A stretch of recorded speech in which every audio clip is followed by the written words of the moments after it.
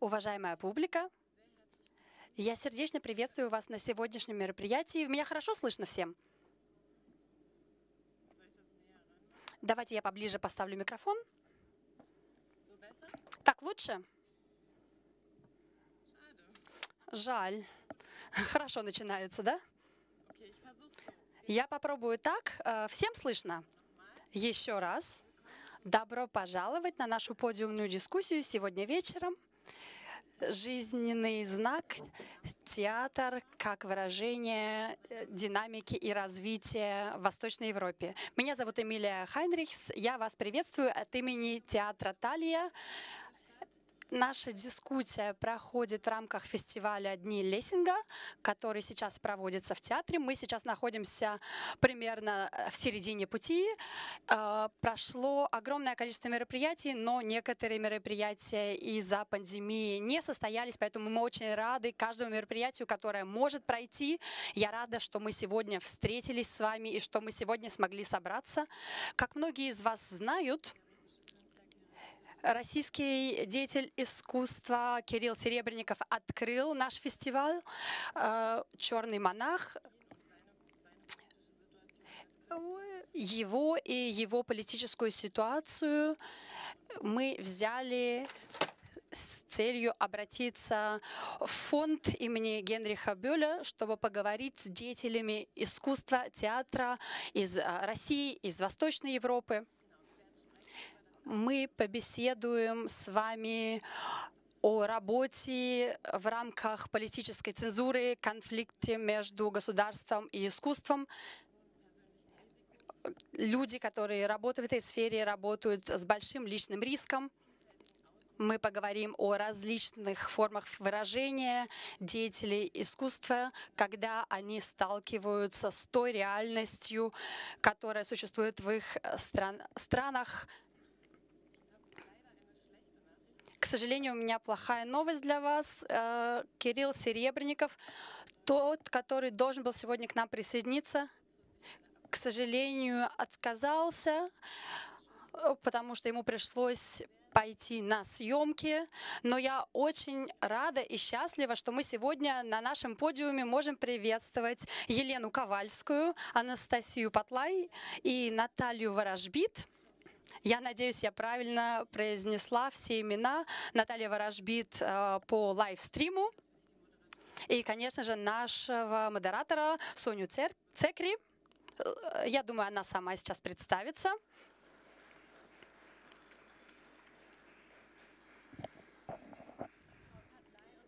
Госпожа Патлай и госпожа Ковальская специально приехали из России.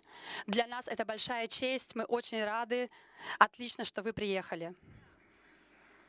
Ну вот.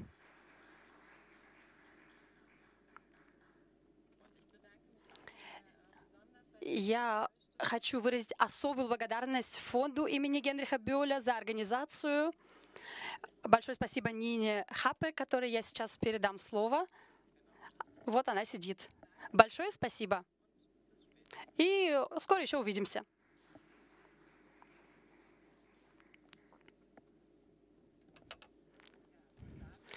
Добрый вечер, все меня слышат? Добрый вечер, дорогие гости, дорогие зрители здесь в театре, а также все, кто смотрит нас дома на экране. Как сказали, меня зовут Нина Хапы, и я бы хотела вас от всего сердца поприветствовать, в том числе от имени фонда Генриха Бёля, федерального фонда с центром в Берлине. Наш сегодняшний вечер очень важен. А, мы а, фонд политической партии «Зеленых». Вы э, видите по моей кофте, я тоже в, э, синей, в зеленой кофте. Мы представляем э, те же темы, которые представляют зеленые, тема экология, большую роль также играет демократия и права человека. Вы в интернете можете все почитать, я вам лишь могу порекомендовать, что мы делаем во всем мире. Я сейчас немного сокращу. Я э, назову лишь некоторые направления нашей работы, в том числе э, работа с людьми, которые работают в сферах литературы, искусства, театра. И когда театр Талия спросил нас, э, когда еще идея только зарождалась, когда мы говорили о сотрудничестве с господином Серебренником, когда мы говорили о днях Лессинга, можем ли помочь в организации этого фестиваля, то мы смогли, опираясь на наши давние партнерские отношения в Восточной Европе, в том числе и э, нашего московского офиса. Хочу сейчас выразить большую благодарность своим коллегам из Москвы. Э, моя коллега сегодня здесь присутствует, и она вместе со мной э, работает над этим проектом. Большое спасибо еще раз.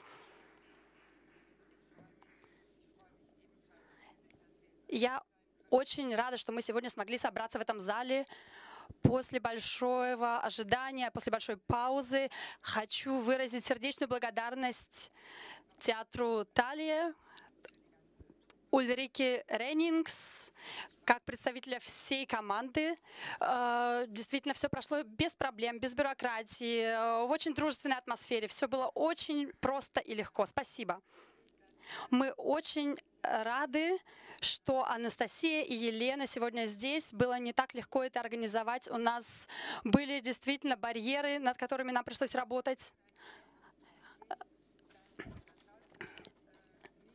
И очень жаль, что э, Наталья не смогла к нам приехать. Мы очень были рады, мы очень ее ждали. Э, действительно, люди из других городов приехали сегодня к нам, чтобы вживую посмотреть на этих э, трех дам. Э, к сожалению, э, Наталья не смогла приехать.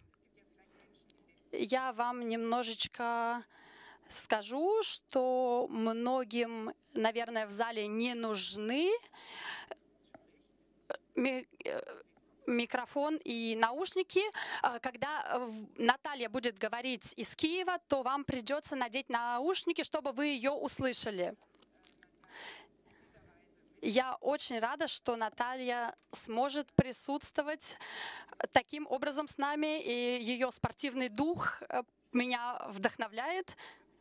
Действительно, сегодня у нас политически очень сложная ситуация, которая волнует нас всех. Важно, чтобы мы сегодня услышали российские и украинские голоса э, в беседе. И эта беседа, этот разговор должен представить разнообразие театра, э, предоставить идеи, какие-то темы, о которых, может быть, редко говорят в тех или иных странах. Также я хотела бы вам представить нашего модератора. Многие из вас знают ее, Соня Цекри. Я сейчас очень кратко ее представлю, но в том числе э, Соня изучала славистику в университете с 2008 по 2011 год, была корреспондентом Süddeutsche Zeitung в Москве. Затем она несколько лет провела в Каире. Это тоже направление ее интересов. А, с 2015 года она была главным редактором фильетона, а с 2020 года является культурным корреспондентом Süddeutsche Zeitung в Берлине. Ее особый интерес направлен на Восточную Европу, именно искусство, культура. Э, вот она недавно была в Восточной Европе, она мне рассказала об этом. Э, то есть она действительно та ведущая, которая сможет сегодня модерировать. И э, я с удовольствием передаю ей слово. Большое спасибо.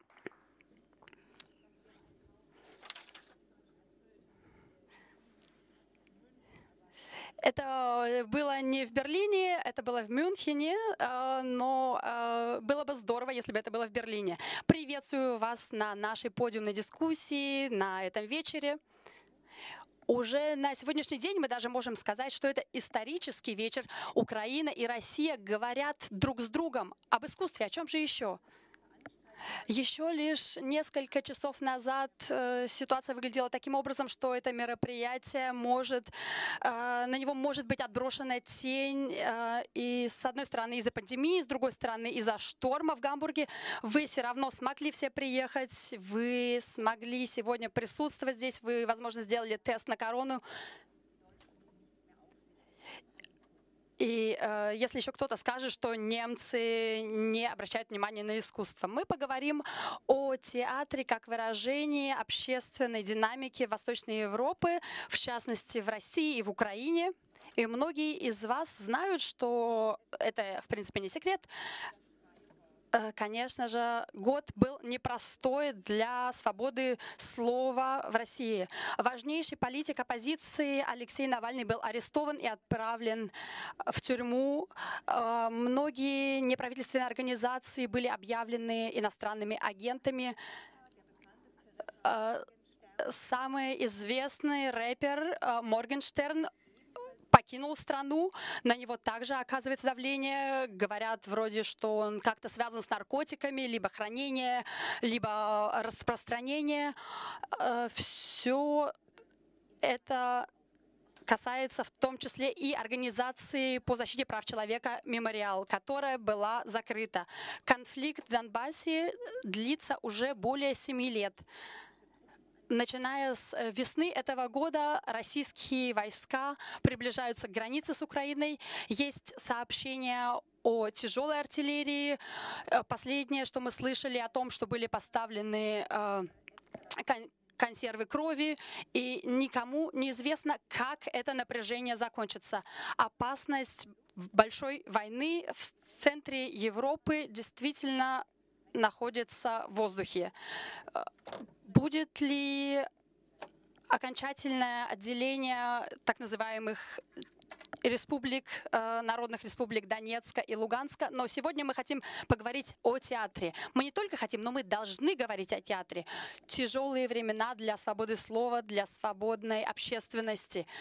Очень часто и в России, и в других странах Восточной Европы является важным пунктом для искусства.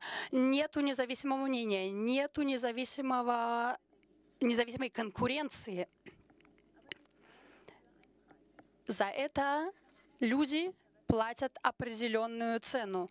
Например, Кирилл Серебренников находился под домашним арестом, и э, только для полета в Гамбург он смог э, выйти из своего дома. Это хороший пример того, что происходит с деятелями искусства в России. Многие деятели искусства стараются предоставить обществу различные формы свободы. Я очень рада сегодня приветствовать наших экспертов, а, больших людей а, в области театра. Елена Ковальская, а, Елена Ковальская является с 2013 года директором э, центра Майерхольд в Москве. Она занимается подрастающим поколением фестиваля «Любимовка», различные проекты Live Theater или новый театр для детей. Елена Ковальская прекрасно ориентируется в истории театра, является преподавателем э, истории театра в Российской академии искусств. Добро пожаловать! Слева от меня сидит Анастасия Патлай, режиссер и актер, актриса не только э, в э, театр ДОК в Москве. Она дает тем голос искусства, кто не находит ее на театральных подмостках, на театральной сцене. В 2020 году ее работа «Не формат» была интересна в том, она говорила о красоте э, актрис не российского происхождения. Анастасия Патлай, добро пожаловать из Киева по лайв-стриму. Раньше говорили телемост, не знаю, Наталья Ворожбит, одна из известнейших женщин в области театра в Украине, украинский драматург, автор сценариев, э, женщина искусства Women of Arts. Вместе с немецким режиссером Георг Жено занималась театром с э, беженцами из Донбасса. Она является куратором фестиваля «Донбус», также является сооснователем других фестивалей. Она также в конфликте вокруг Украины тематизирует разные темы.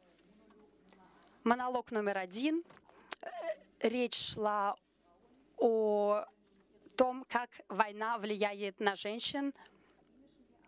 Ее произведение представлены не только в Украине, но и в России, в Великобритании, в Польше, в США и в Латвии. Э, работает э, Шекспир компании вместе. Добро пожаловать и здравствуй, Киев!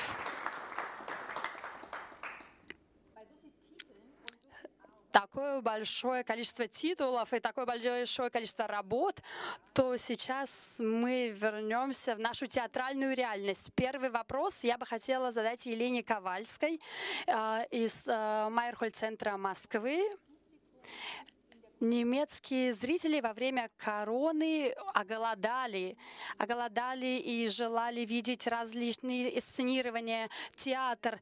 Публика страдала, что культура потеряла во время пандемии какую-то роль. А, и в первую очередь поддерживали скорее строительные супермаркеты, чем культура.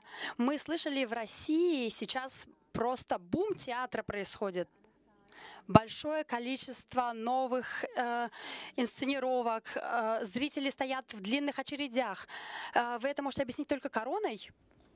А, первым делом хотела сказать спасибо Талия театру и фонду Генриха Бёля за приглашение а, в Гамбург на замечательный фестиваль. Я рада быть в, театре, где а, ставила наша коллега Марина Давыдова две работы, ставил Кирилл Серебренников, и я благодарна Талия театру за интерес к русскому театру. В пандемию в России Э, государственный театр поддерживался э, очень хорошо, э, и артисты, когда театры закрылись, то артисты поддерживали, ну, как бы получали ту же зарплату, что и в любое другое время.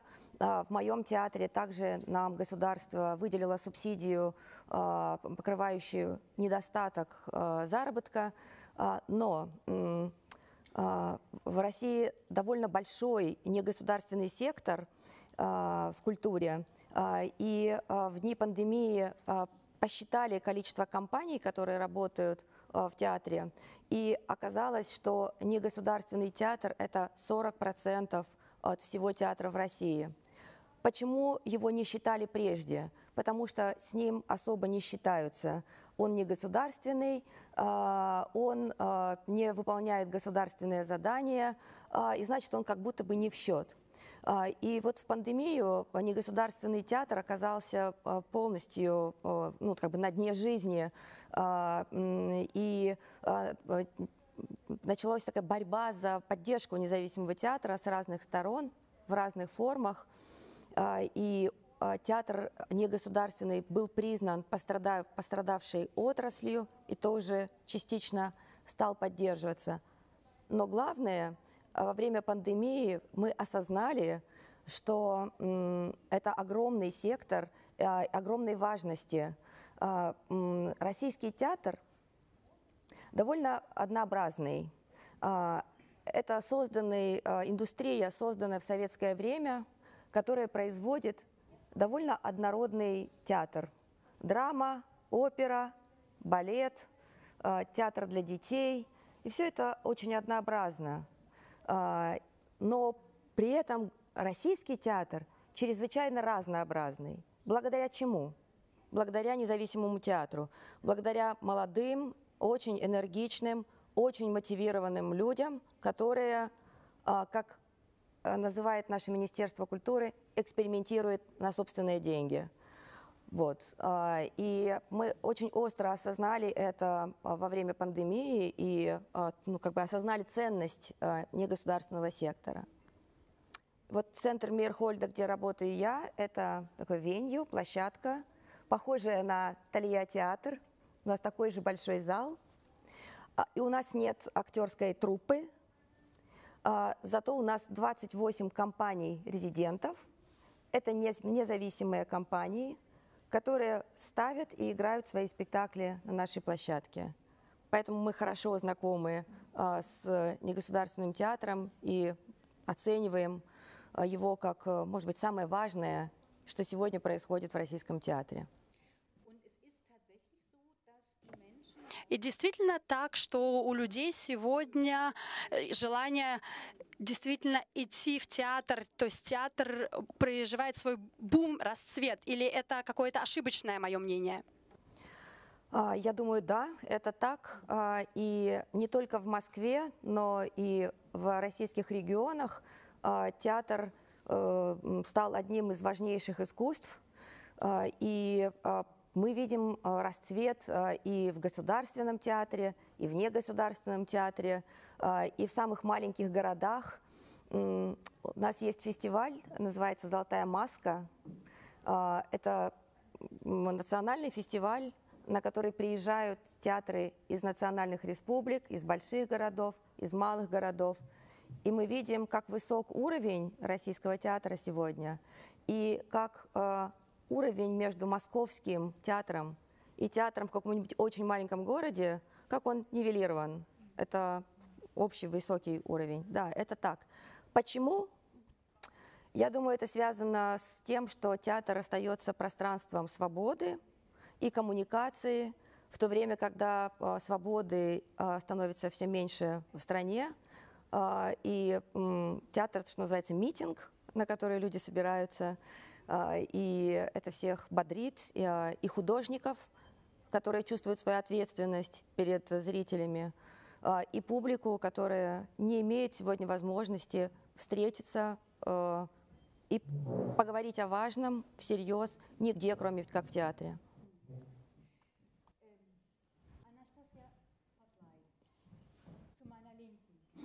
Анастасия Патлай по мою левую руку.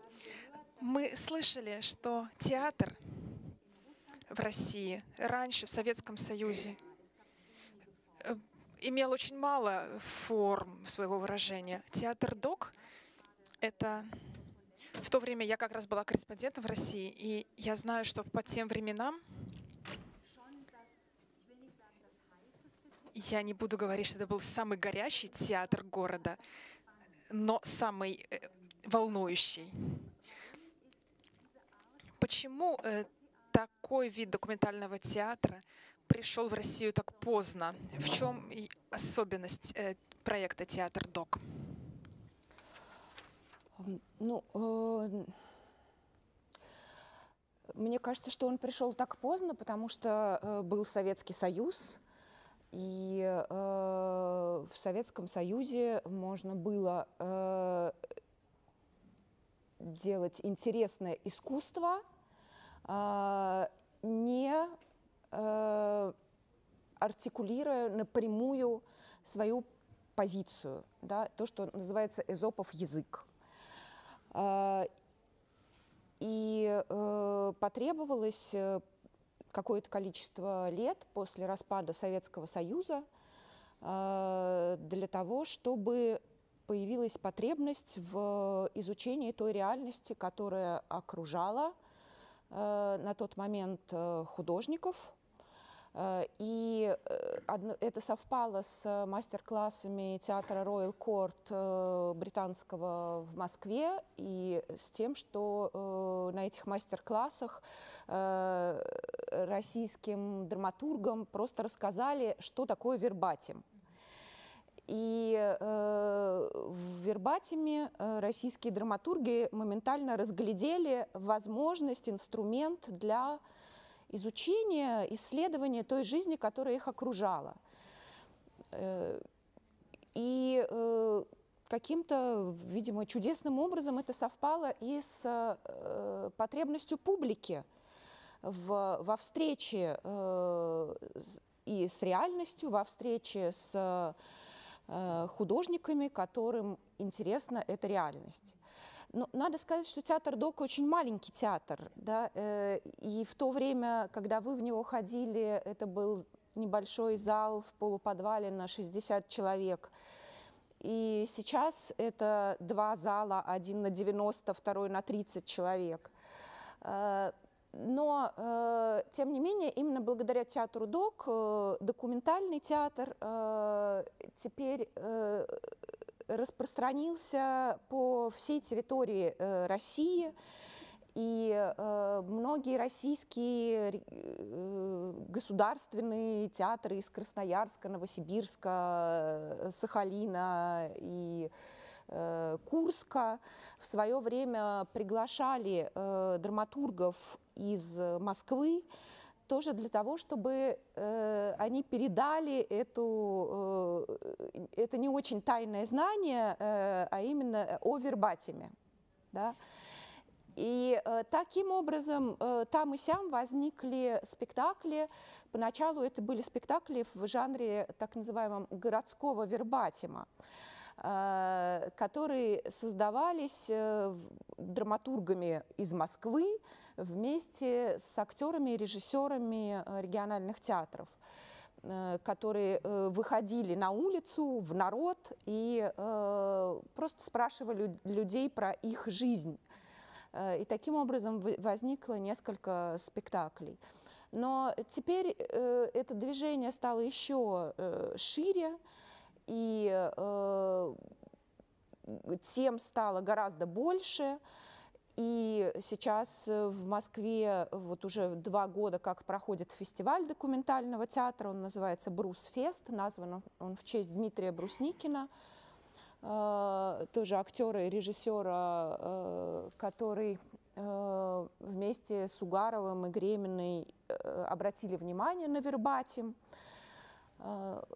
Вот, так что да, можно сказать, что это уже не просто тренд, а широкое движение. Один из самых известных э, спектаклей и очень смелый спектакль, хотя тогда еще не было таких ограничений, как сейчас. Это один час 18 о смерти юриста, юрисконсульта на фирме если я не ошибаюсь, это была британско-российская фирма Сергея Магнитского, который умер в тюрьме. Его э, не смогли спасти в тюрьме. Э, вы могли бы сегодня поставить такой спектакль? А, этот спектакль э, создали Елена Гремина и Михаил Угаров. Э, это важно сказать. Это создатели э, театра ДОК и руководители, бессменные до момента своей смерти в 2018 году. Они один за другим практически ушли, и они были супружеской парой, и э, их объединяло и общее дело, и э, любовь, и забота друг о друге. А, и э, этот спектакль был э, создан в 2010 году, Магнитский умер в 2009 э, в тюрьме «Матросская тишина». А, я в то время училась у Угарова на курсе режиссуры документального кино и документального театра. И э, на самом деле театр ДОК был, э, час 18 спектакль был таким прорывом для театра ДОК в область политического театра, потому что до этого момента театр ДОК и Угаров с Гременной э, постулировали э, ноль позицию, так называемую. Э, то есть театр ДОК с самого начала ни в коем случае не позиционировал себя как политический театр. Это был театр исследовательский, э, театр, который э, исследует разные, так сказать, социальные страты, незнакомые московскому зрителю, театр, который э, организовывал экспедиции в колонии, в детские дома, и, и не знаю, к шахтерам, ну и так далее, да, к самым разным людям, э, в которых театр док э, видел э, возможных героев для документальных пьес. И в случае сейчас 18 пришлось и было невозможно соблюдать эту ноль позицию, потому что такой э, главной мотивацией э, делать этот спектакль ну, было просто эмоция, возмущение, что человек в России в 2009 году, в 21 веке может э, умереть в, не просто в тюрьме «Матросская тишина», а в больнице тюрьмы «Матросская тишина». Э, то есть ему не была оказана врачебная помощь. И э, да, и э, так получилось, что э, Михаил Юрьевич пригласил э, меня еще одну мою однокурсницу в э, команду этого спектакля, и мы вместе с Еленой Анатольевной собирали интервью и так далее. Э, и м, теперь отвечаю на ваш вопрос. Да? Э, да, и важно, что этот спектакль действительно был первым политическим спектаклем театра ДОК, и после этого к театру ДОК э, уже приклеилась эта э, бирка «Политический театр». Э, Елена Анатольевна до последнего, э, Елена Анатольевна Гремина до последнего, так сказать, ну, открещивалась от этого не потому, что она не хотела э, делать политический театр, а потому что ей было важно, что э, мотивация ее, она не связана с политикой ни в коей мере, она связана с человеком и с тем, чтобы рассказать о судьбе конкретного человека. А, И се- сегодня э, возможно поставить такой спектакль, но э, риски гораздо выше. Э, И, например, прошлом году в театре ДОК был поставлен спектакль «Соседи», который был посвящен событиям э, в 2020 году в Минске, э, народным, так сказать, протестам и разгону этих протестов. И этот спектакль э, закрыли прошлой весной, А, потому что театр ДОК пришли угрозы о закрытии театра и об очередном э, изгнании театра из очер- э, с очередной площадки. Мы еще не раз сегодня услышим о данных сложностях. Но сейчас я бы хотела дать слово Наталке Ворожбит. Во-первых, э, для начала задать вопрос. Э, Как сейчас настроение в Киеве, атмосфера? Как дела у людей в Киеве, в Украине? Украина большая, э, вы сейчас конкретно в Киеве. Как у людей сейчас дела?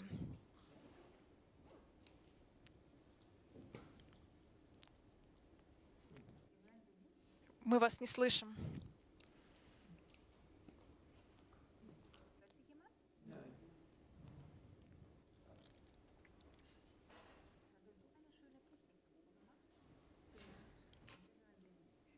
Мы так старались, э, делали саундчек, но, к сожалению, мы вас не слышим.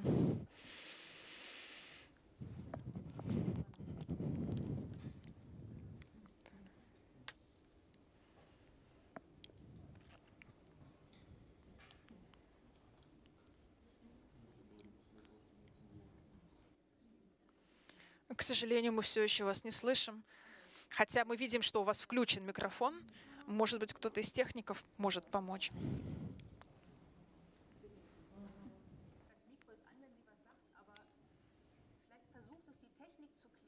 Сейчас наши техники попробуют э, разобраться. И мы тогда попозже вас подключим. Я надеюсь, что мы сейчас сможем разобраться.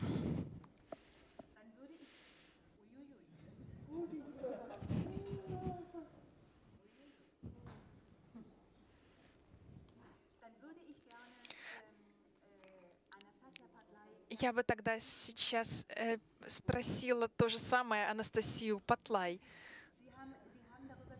Вы говорили о том, что э, ваш э, спектакль «Соседи» э, был снят с репертуара после того, как вы получили угрозы. Если посмотреть, какие спектакли э, вы в принципе ставили, то можно удивиться, что раньше в принципе это было возможно несколько лет подряд. Например, эм, спектакль о камин-ауте э, гомосексуалов. Э, Много лет вы могли его ставить, а потом внезапно у вас возникли большие сложности. Что случилось? Э, Расскажите историю данного спектакля.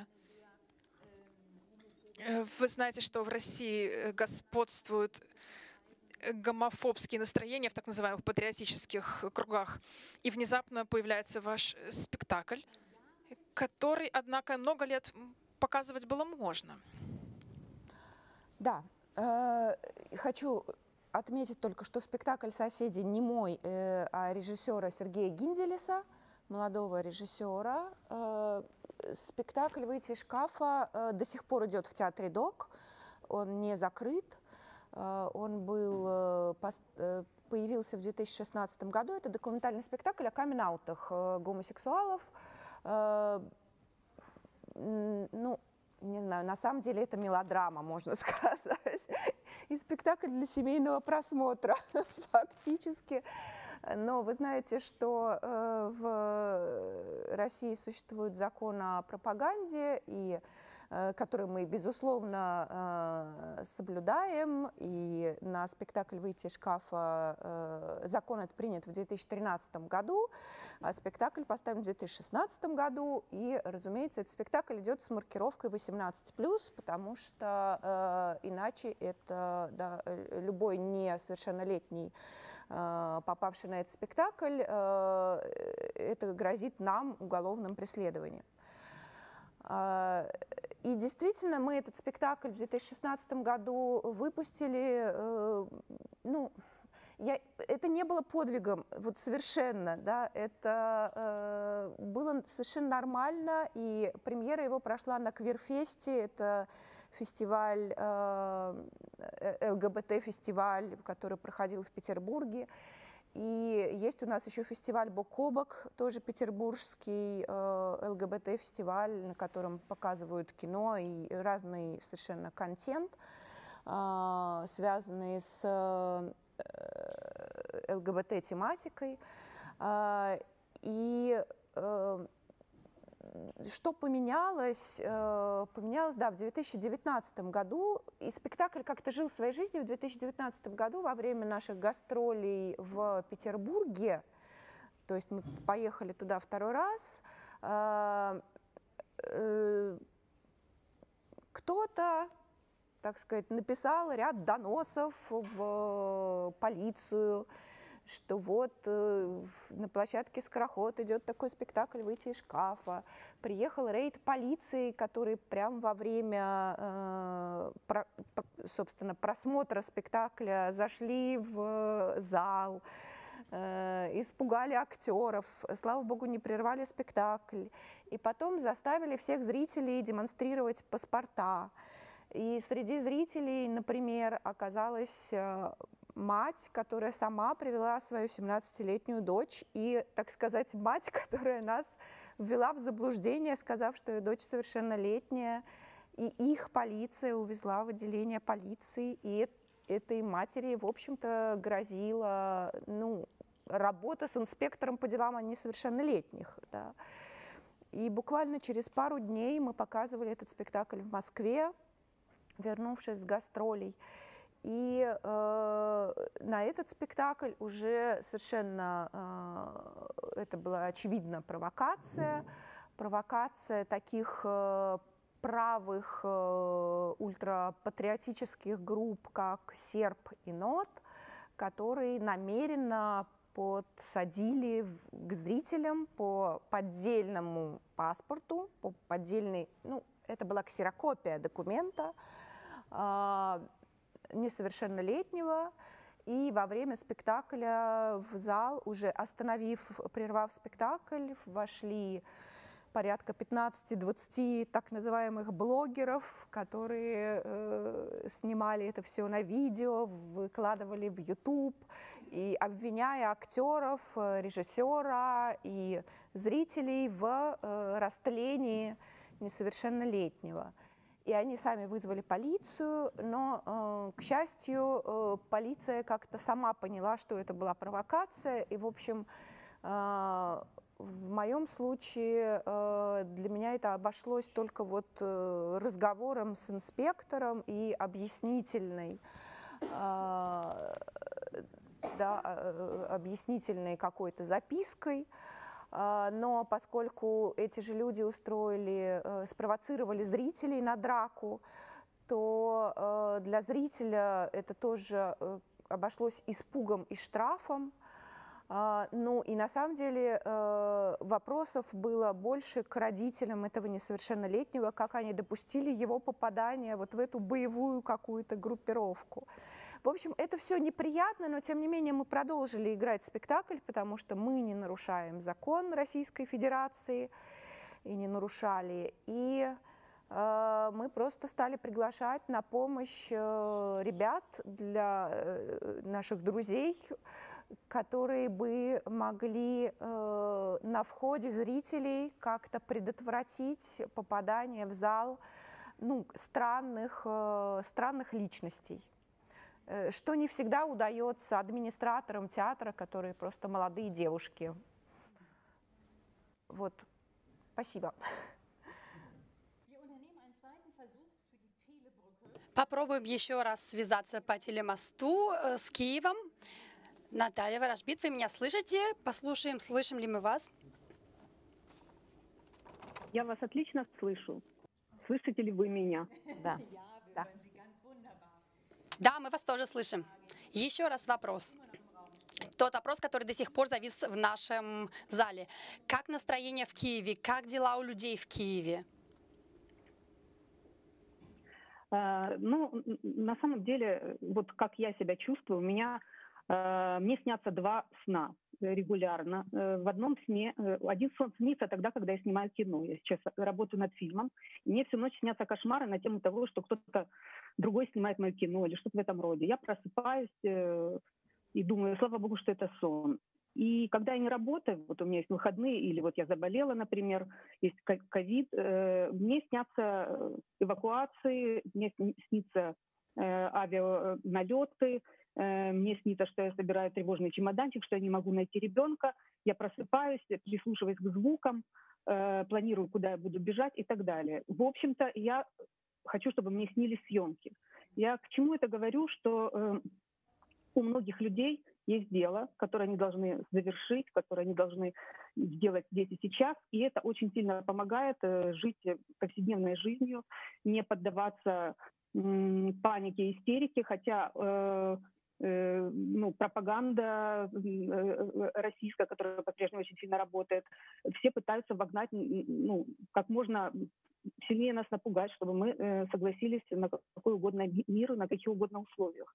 Но за 8 лет э, все-таки мы разучились так э, сильно паниковать. У нас срабатывает инстинкт самосохранения. Мы научились немного разбираться в политике, и мы э, ну, следим с большим вниманием за тем, сколько и какие страны нас поддерживают. И, конечно же, очень огорчаемся, когда такой поддержки откуда-то не, не видим. Э, э, Киев как будто бы живет э, своей жизнью, но я знаю, что многие, почти все думают о плане Б. Что мы будем делать, если случится страшное, непоправимое, э, то, чего мы как бы боимся 8 лет. И действительно сейчас особенно напряженно. Ну, я не припомню такого напряжения, разве что в 2014 году, э, но тогда у нас э, было меньше информации, меньше знаний. Сейчас их значительно больше. И я думаю, сейчас все смотрят фильм «Мюнхен», э, как его, его смотрит весь мир, и мы не, можем не проводить параллели с ним. И если вы смотрели, если помните, то камнем э, как бы э, в 1937 году таким, э, такой страной, как сейчас является Украина, камнем раздора как бы была Чехия. И э, мир пожертвовал Чехии в году Гитлеру, потому что э, поверил, что он откупится этой малой жертвой. Мы сейчас чувствуем себя примерно так же и просто очень над- надеемся, что ну, большая политика сделает какие-то выводы, учится на каких-то ошибках, и мы все-таки все-таки не случится самое страшное, будет мир. Вот как-то так. Очень сложно говорить, действительно эмоционально говорю на эти темы. Я не привыкла об этом говорить по-прежнему. У людей есть в этой ситуации сила идти в театр? Или, может быть, как раз поэтому они сейчас идут в театр? В такой напряженной ситуации? Какую роль в такой напряженной ситуации играет театр? А, Ну, вы знаете, вот э, наш театр до начала войны был тоже достаточно скучным, традиционным и имел все признаки, э, ну, и структуру советского театра, и драматург как автор, он не был нужен, э, не чувствовал себя необходимым в своей стране, своему театру. Э, после э, начала войны, как, как это не, парадоксально звучит, ситуация для театра и для драматурга Э, вернулась к лучшему, потому что произошел действительно бум, огромный интерес, возникло огромное количество независимых площадок. Мы сразу же, мы все нашли свою тему, мы знаем, о чем говорить, что нас болит, что, что, волнует. И несколько лет буквально был какой-то взрыв инициатив и жажды. Вот люди приходили в театр поговорить о важном, о наболевшем, о том, о чем они не могли больше нигде поговорить. А, опять же, э, злая э, привычка, да, когда прошли годы, да, многих молодых и самых энтузиастов театральных, их поставили на какие, занимать какие-то посты в театрах государственных. Они сейчас заняты больше какой-то хозяйственной деятельностью. И это, это, наверное, первая причина. Вторая причина, что люди в первые несколько лет вербально как бы проговорили все, что могли проговорить. И э, устали, наверное, от этого. И это был очень важный этап, нужный. Но сейчас, наверное, нужно какие-то новые э, искать инструменты, пути. И э, да, в театр ходят, но в нем сейчас э, э театр не дает того, что он давал в первые годы войны он не дает этого серьезного разговора, он не удовлетворяет эту потребность. Но это мое субъективное ощущение, я, возможно, ошибаюсь, потому что я не работаю в театре, я э, ну, свободный автор, который хочу, даю пьесу, хочу, не даю. В общем, э, но, безусловно, мы сейчас, например, э, с драматургами, 20 драматургов, создаем театр который так и называется «Театр драматургов». Это первая площадка в Украине, где э, будут ставиться только современные пьесы. И мы надеемся, что это как раз будет то самое место, куда захочется приходить, как хотелось приходить в свое время, там, не знаю, на Майдан или, или в театр э, первых военных лет. А, вы э, создавали спектакль с беженцами из Донбасса. Это была популярная тема на тот момент. Это была такая тема, о которой люди говорили, хм, это излюбленная тема на тот момент была. Э, уже несколько лет, конечно, прошло после этого. А, э, мы э, разным театром занимались. С одной стороны, мы рассказывали всей Украине, мы занимались, мы по-прежнему стараемся этим заняться, сшиванием Украины внутри страны. И мы э, делали спектакли про переселенцев э, в тех местах, куда они переселились, то есть во всех городах Украины. В то же время мы делали спектакли с подростками, с военными, с местным населением на территории Донбасса. Э, собственно, для э, людей, которые пострадали вследствие войны. Мы э, знакомили, мы возили э, в Европу и в, разные страны э, свидетель... Э, это все свидетельский театр был, и мы э, максимально хотели рассказать миру при помощи реальных свидетелей о том, что действительно происходит. И это было мега, это слово популярно не, не очень подходит, но это был как глоток э, свежей, свежей информации. Это были не новости по телевизору, из которых мы знали э, сухие сводки статистики. Это были голоса людей, которые пережили опыт, совершенно потрясающий, невозможный опыт для э, 21 века в центре Европы, опыт войны. Э, и, э, и это был какой-то ну, совместный акт и прощения, и понимания, и проговаривания. Э, у нас не было своей площадки, к сожалению, на тот момент. Наверное, мы бы сделали больше, но мы очень много делали, вот что называется, на коленке. И тогда очень, очень много возникло таких э, спектаклей, инициатив. Это было по-живому, это было очень важно, и э, в этом было много. Э, вот. Но рутина войны, э, вот из года в год, она э, притупляет, конечно, какие-то эмоции. И вот эта острота первых лет, э, она прошла. Сейчас нужно по-другому как-то работать. Вот мы ищем как.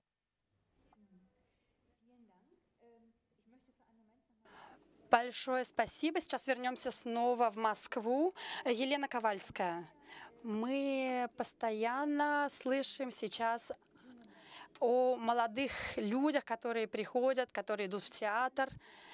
Вы посвящаете свою работу, э, большую часть своей работы молодым людям, в том числе молодым деятелям искусства, театра, молодым зрителям в театре. Если мы говорим о молодежи в театре, если вы работаете с молодежью, есть ли у этого подрастающего поколения какие-то новые подходы, новые доступы, какие формы молодых людей, какие у них темы?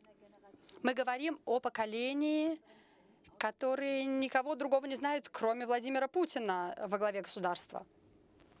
А, Но первым делом я хотела бы сказать, что а, Настя, Наташа и я, мы подруги, и нас объединяет театр ДОК, а, где мы много работали вместе, и это была такая неразрывная жизнь, работа. А, И а, мне, я должна сказать, что мне стыдно а, сейчас, эм, стыдно и горько, что происходит между, что делает Россия с Украиной за войну, которая началась в 2014 году, за угрозу, которая сейчас снова создается, за эти 8 лет ада, в котором живет Украина. Это ну, стыд.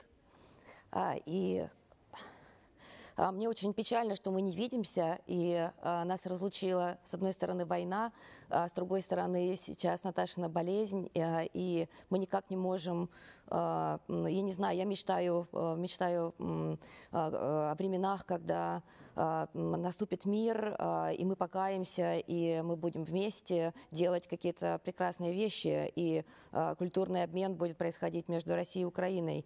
А, И а, потому что украинская культура, а, в том числе украинская современная драматургия, а, была м, большой значительной частью той новой драмы, а, которую мы развивали в Москве. А, И пьесы Наташи, Натальи Ворожбит и Максима Курочкина, а, они ну, такие важная часть э, нашей культуры. Они, э, украинская драматургия обогащала российскую драматургию. А, Это, может быть, самые глубокие образцы современных пьес, которые ставились у нас. И, а, мне горько, что а, сейчас между нами вбит клин.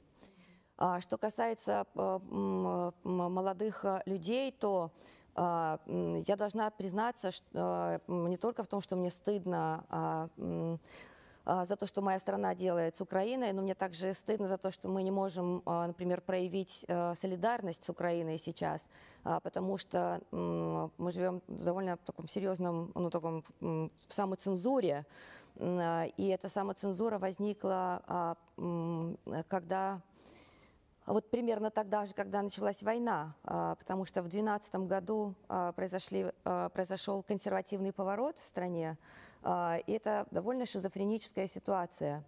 Консервативный поворот в Польше, в Венгрии, в Америке, в Великобритании произошел в результате выборов. Народ сделал свой выбор. В России консервативный поворот произошел, потому что его совершил э, один человек и одна партия. Э, Вся страна шла э, налево, э, начиная с 91 года. Потом тот же человек, который осуществлял э, модернизацию, э, э, предложил пойти в другую сторону. И по-прежнему вот мы идем в одну, в ту же сторону, в которую шли с 91-го, а а власть разворачивает страну в другую сторону. Это довольно шизофренически, потому что я не вижу, что это, э, этот тренд выбор народа. Это выбор ну, как бы человека, руководителя страны а, и партии, которая им создана. И это Поэтому, поэтому это все очень дико. Дальше стали возникать э, законы и акты, которые запрещали нам а, то, что является нашими ценностями. А, и все, что мы делали, начиная там, с перестройки, стало называться злом. То есть, э, то есть, ну, то есть э, э, мы делаем то, как бы исповедуем ценности развития, а, которые для нас не изменились, они остаются ценностями, а, но они объявлены злом. И это, а, ну дальше э, те преследования, которым подвергался, например, Кирилл Серебренников, или смерть наших э, старших товарищей э, Гремина и Угарова, создателей и руководителя ДОКа, они э, говорят нам о том, что э, быть честным, делать то, что ты считаешь нужным, исповедовать свои ценности, это опасно для жизни. И поэтому это очень сильное чувство, оно съедает душу и мучает, но оно нам принадлежит, это страх. Ну да, я знаю по себе э, этот страх, э, и с ним сложно жить. Э, а, и за него тоже стыдно, но он есть, да, я должна в этом признаться. А, и я думаю, что он очень э, свойственен а, сегодня русской культуре, она старается не говорить о о том, что может э, привести к опасности для карьеры или для, для, даже для жизни. Поэтому сегодня российский театр глубоко политичен, прям глубоко. И сегодня политическое в России располагается в области эстетического поскольку эстетика – это тоже политика в России. А, например, а, я выбрала а, полем борьбы социальный театр, театр социальных перемен. После того, как стало невозможно делать то, что мне кажется важным. И оказывается, что театр социальный – это тоже большая область политики он кажется не художественным, недостаточно художественным. Его не принимает, например, российское театральное общество. Это как бы несерьезный театр.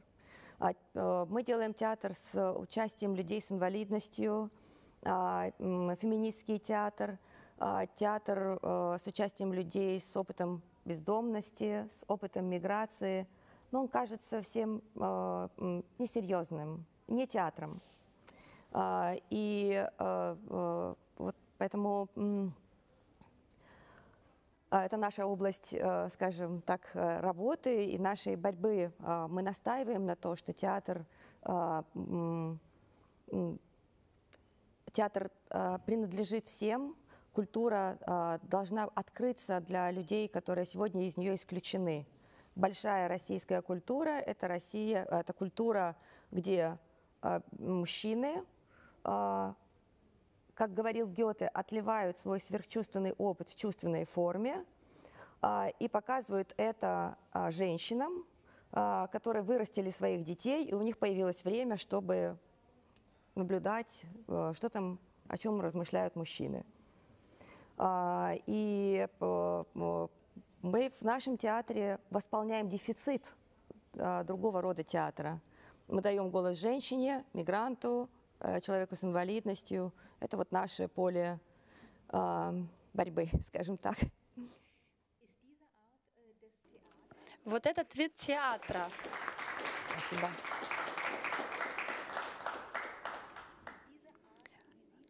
Вот этот вид театра, как вы его себе понимаете, более доступен для молодых людей, он более привлекателен. Молодое поколение, которое никого не знает, кроме Владимира Путина, э, как э, владыки России, но одновременно с этим получает большое количество доступа через интернет во весь мир к другим идеям. Это надежда для театра, для России. Как вы работаете с молодыми людьми? А, я думаю, что а, э, интернет, как когда-то изобретение книгопечатания, а, очень подорвал иерархии, которые существуют не только в российском обществе, но в культуре вообще. Поэтому молодые люди, а, которые проживают свою жизнь в интернете, а, им непонятны ну, вот, те иерархии, которые царят в обществе, в политике и в культуре. А, и молодые люди в культуре сегодня бунтуют против институций. Институциональная критика – это такой повод для споров в России сегодня. А, например, молодые люди а, говорят о том, что институции возглавляют а, мужчины, они возглавляют их не меньше, чем Путин возглавляет страну, они считают, что институции иерархичны, и вот э, борются с институциями, включая вот меня, да, вот наша институция тоже так, так же враждебна им, как и, скажем, как и Владимир Путин. А, И, ну, как бы это интересная ситуация, да. а, И мне кажется, что а, мы немножко живем в таком пузыре, когда мы говорим про молодых людей, мы имеем в виду тех, кто работает и ходит в центр Мирхольда. Но есть и другие молодые люди. Все-таки общество, общество в России, как везде, очень сегментировано. А, И вот работая в центре Мирхольда, мы иногда можем помыслить, что не идет война в Украине, что не а, посадили Навального, что не закрыли, а, не закрываются НКО, потому что у нас все хорошо. Мы на одной волне с нашей публикой, мы откровенны, смелы в нашем театре. И, но тот театр социальных перемен, который мы делаем у себя, не совершает этих перемен. И это э, поселяет в нас отчаяние некоторые. Мы думаем, а как же, ну, как же нам выбраться из этого пузыря, как же там, э, как, как театр может изменить мир. А, Это вопрос, который мы каждый день себе задаем. И отвечаем на него так, что э, театр работает с фантазией, а, и если те люди, которые сегодня в театре могут помыслить, что могут помыслить равенство, многообразие, братство, э, если такой опыт им дает театр, то м, им, наверное, хочется этот опыт повторить в реальной жизни. Я думаю, театр так меняет реальность.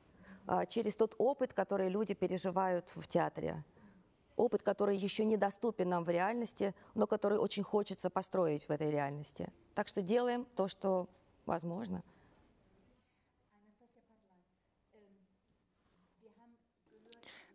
Анастасия Патлай, мы слышали о боли, о страхе в Киеве, которые испытывают люди. То, о чем также уже сказала Наталка Ворожбит. В- В то же время в России практически невозможно открыто показывать Украине солидарность.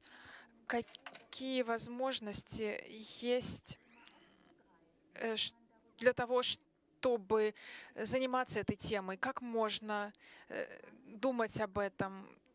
Или, или же это настолько большой риск, если сейчас поставить э, спектакль на эту тему, то все, театру конец. Может быть, конец, может быть, не конец, никто не знает. Мне кажется, стоит пробовать.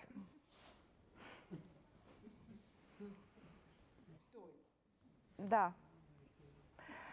Э, Я тоже в последние дни много думаю о том, э, почему, э, почему мы как-то не консолидировались, чтобы, ну, мы, я имею в виду люди из нашего пузыря, как минимум. Вот хотя бы люди из нашего пузыря, которые, безусловно, э, тоже переживают э, стыд э, по поводу действий России сейчас в отношении наших друзей, в отношении Украины. Да, я задаюсь вопросом, почему мы как-то никто ничего не делает. Вот э, я пока, так сказать, единственный нашла способ выразить солидарность, это повесить украинский флаг на э, свою аватарку в Фейсбуке. И то мне мои родственники сразу написали «нарываешься». Вот, но э, сегодня утром я подумала, а почему бы нам не просто не, не знаю, организовать читку пьесы Наташи Ворожбит в театре ДОК, э, если Наташа разрешит, или еще как-то э, просто символически выразить э, свою позицию. Но я попробую это сделать. И я не знаю, что мне скажет администрация театра ДОК, потому что сейчас, на самом деле, администрация театра ДОК в первую очередь хочет просто выжить. Э, просто э, сохранить театр вот в эти трудные годы. Может быть, мы можем сделать интернет какую-то в зуме, я не знаю, какую-то акцию. Да, мне хотелось бы, мне хотелось бы, и я присоединяюсь к словам Лены о том, э, что мы сейчас переживаем жгучий стыд за свою страну. Наталка Варашбит, если вы сейчас слышите слова ваших коллег и подруг, это утешает вас? А, я очень тронута и очень благодарю за солидарность и Лене, и Насте, потому что как бы ни там ни было, как бы мы не, э, э, не были не вместе, конечно, э, я лично, как человек, который 10 лет прожил в Москве, и для меня там театр док и многие люди значит очень много, я по-прежнему слежу за их реакциями. И когда ставится флажок э, на аватарку, мне очень э, важно и тревожно. Я, с другой стороны, я очень не хочу подвергать опасности театра док, и когда я слышу слова Насти, мне хочется сказать, да не надо, да забейте, да, господи, справимся, справимся, вас слишком мало, и, и, и, и, и вы мне дороги. Вот. Э, и поэтому я, и, и, у меня такое ощущение, что э, вот сейчас попытка что-то склеить э, наши культуры, она обречена вал, потому что, наверное, нужно максимально расклеить их сейчас. И э, потому что как раз из-за такого склеивания, наверное, и война началась, потому что мы недостаточно активно проявляли свою независимость, самодостаточность, Э, нам недостаточно верили, что мы независимы, самодостаточны. И, наверное, только какая-то пропасть между нами, э, не, не, ну, я не говорю сейчас про дружбу нашу личную с, дев, с девочками, э, какая-то пропасть культурная, она, может быть, спасет, что когда через много лет, после того, как не станет Путина, когда поменяется система, мы все встретимся как бы без ну, как два незнакомых человека встречаются и сможем э, смотреть на друг друга новыми глазами, без этих всех э, общих знаменателей. Э, ну, не знаю, может, во мне это говорит такое уже отчаяние, но вот, например, в театре драматурга э, было голосование, у нас 20 человек, и предложили, один человек предложил э, спонсор нашего театра э, такой опрос, хотим ли мы привести э, какой-то оппозиционный русский театр в Киев, ну, в наш театр. И 19 э, из 20 драматургов ответили отрицательно. Нет, не хотим. Один воздержался по разным причинам. И не подвергать опасности тот же дружественный оппозиционный театр и, и бессмысленность. И то, о чем я говорила, о том, что это склеивание, оно сейчас э, какую-то дурную роль играет. Вот.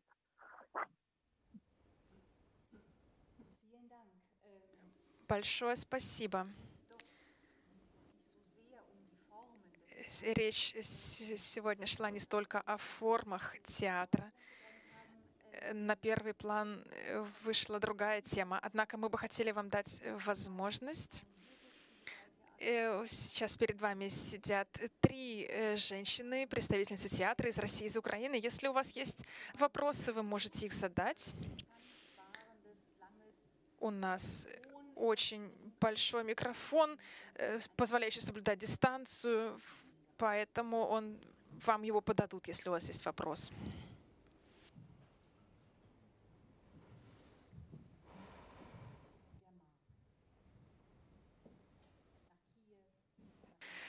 Если вопросы в Киев, в Москву,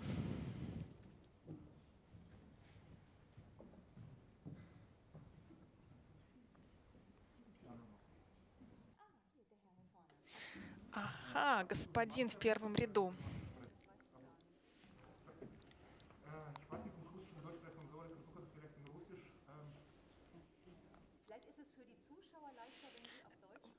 Может быть, для зрителей проще, если вы зададите вопрос на немецкий, у нас все равно есть перевод. У меня есть чувство, что мы... Есть ощущение,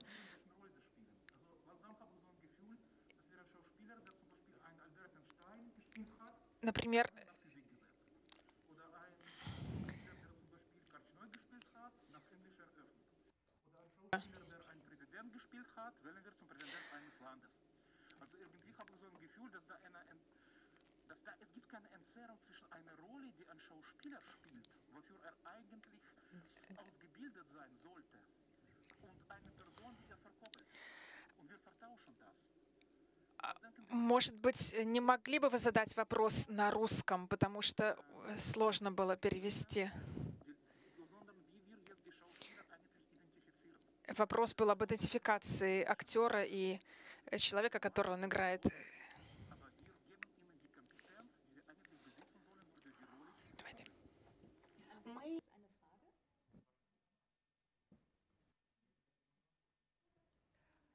Нам не перевели вопрос и предложили вам его э, еще раз по-русски.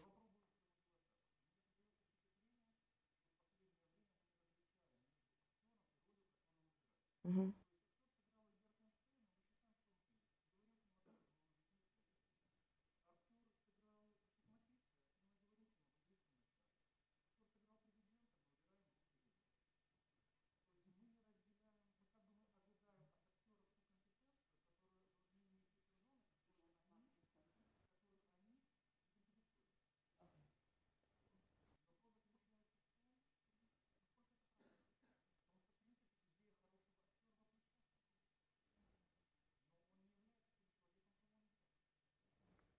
Я слышу в этом а, вопрос к Наташе э, про президента, артиста по профессии.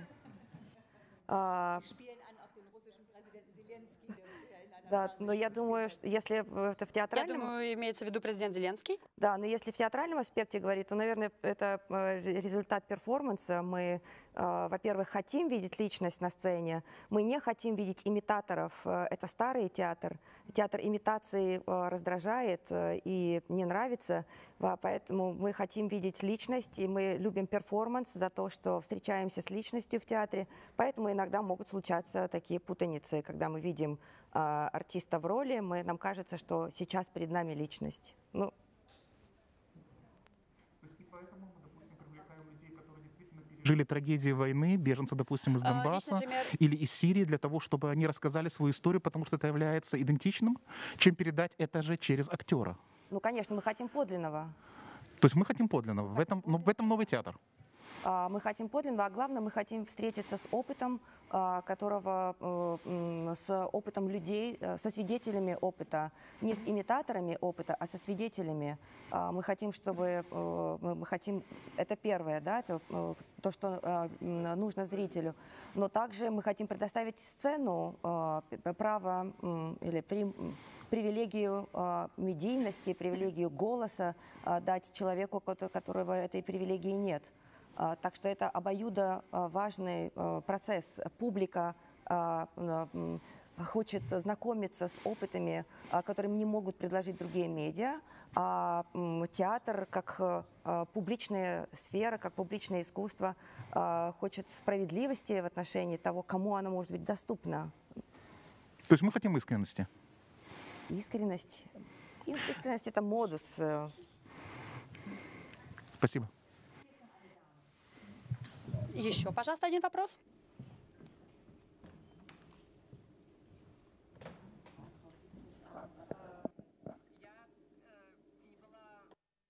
Да, но я была э, на одном спектакле «Театр Док» э, в Санкт-Петербурге, по-моему, на каком-то фестивале. И за- после спектакля была дискуссия, и удивительное дело, меня очень поразило, я была очень благодарна, что в России существует такой театр, который обсуждает э, реальные проблемы. Там была смерть э, антифа э, мальчика. И агрессия из зала. Вот это меня удивило, что а, на дискуссии после спектакля, да, ам, это была не дискуссия, это была какая-то атака на все, на актеров, на то как, на режиссеров, на все. Как э, вы справляетесь с этим или как вы Или это просто я была свидетелем такого индивидуального случая, или, но вот эти вот э, моменты, когда приходят там провокация, да, с полиции, это же тоже агрессия, как бы вот на то, что ты сделал, ты считаешь это хорошо, что ты сделал, да, а тебя так атакуют. Как вы с этим? Или новые формы, когда вы э, приводите э, бездомных людей на сцену, я уверена, что в России это тоже вызывает некоторую агрессию со стороны зрителей. Или агрессивное, так сказать, восприятие, нет? Как вы с этим живете, боретесь?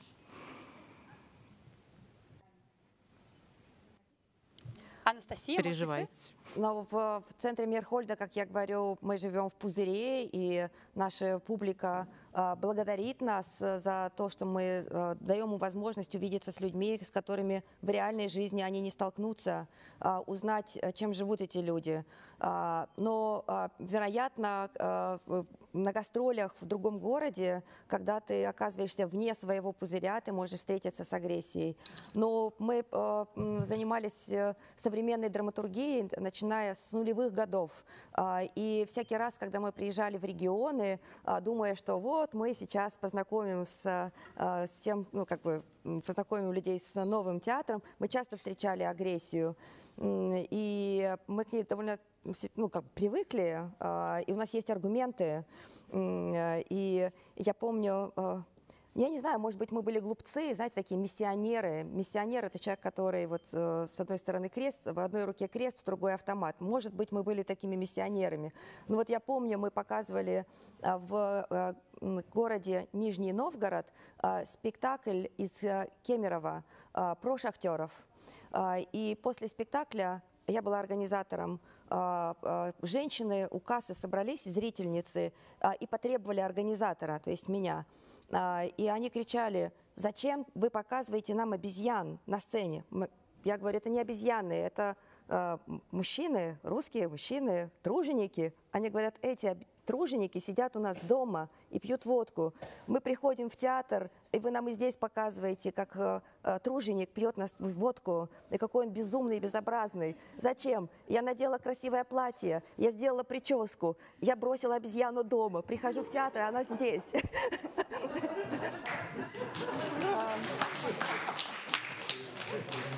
И вот я думаю, что а, театр должен быть разный, а, и он, вероятно, должен давать людям то, что, чего им не хватает. А, и, наверное, должен быть и театр как место эскапизма, где ты приходишь, э, оставив дома свою обезьяну в театр, а здесь красивые люди, а, говорят в Москву, в Москву, и все в мире меняется. А в театре ничего не меняется. И как сто лет назад – Женщины красиво одетые говорят в Москву, в Москву, в Москву, играют Чехова. Наверное, такой театр должен быть. Но должен быть и другой. В общем, сколько людей, столько театров. А, я за многообразие.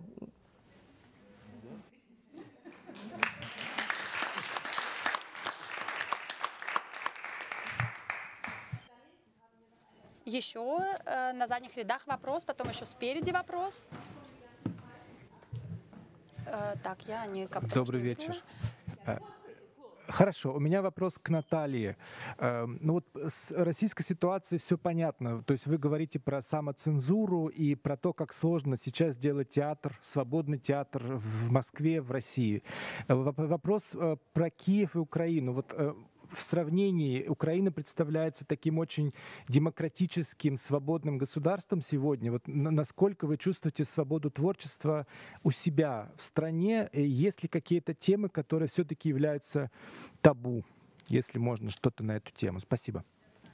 Спасибо за вопрос. А, ну, у нас как бы официальной цензуры не существует. У нас за много... Я не, я не помню, когда у нас закрывался спектакль по каким-то политическим цензурным соображениям. Ну, может быть, я чего-то не знаю, но точно не было таких громких э, событий.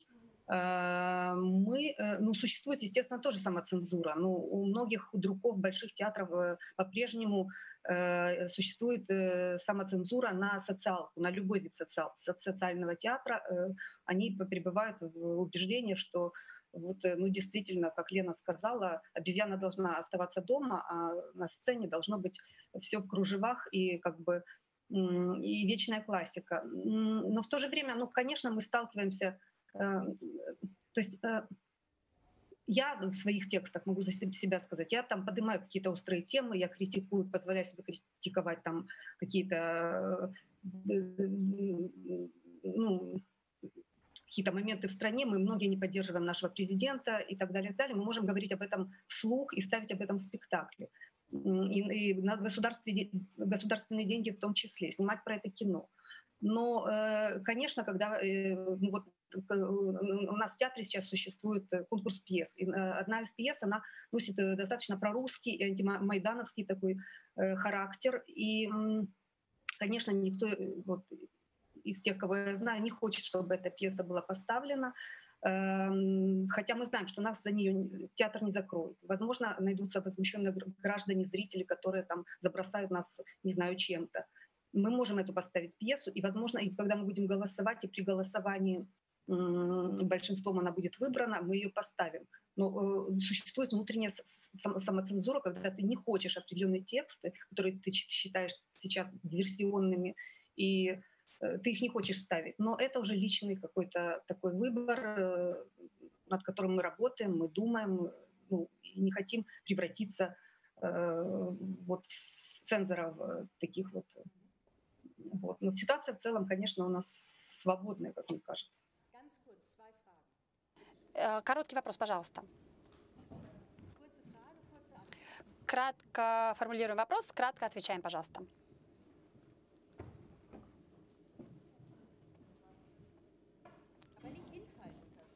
Пожалуйста, не упадите. Мы немножечко затронули тему Советского Союза.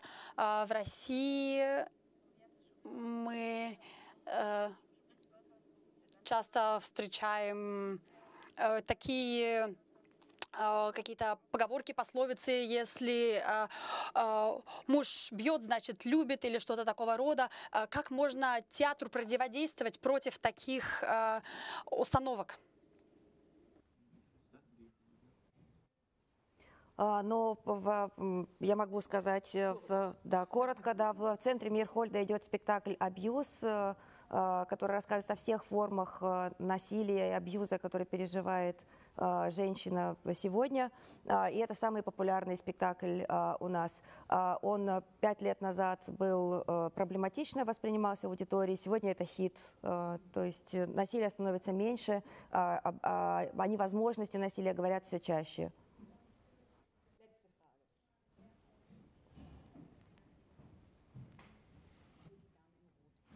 Пожалуйста, женщина в красном.